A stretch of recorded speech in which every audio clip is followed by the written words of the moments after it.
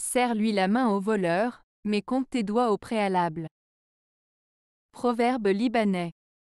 Ce proverbe libanais signifie qu'il est important d'être poli et courtois avec tout le monde, même avec ceux qui pourraient ne pas être dignes de confiance. Cependant, il souligne également l'importance de rester vigilant et de se protéger en faisant preuve de prudence et de méfiance, surtout envers les personnes peu fiables ou malhonnêtes.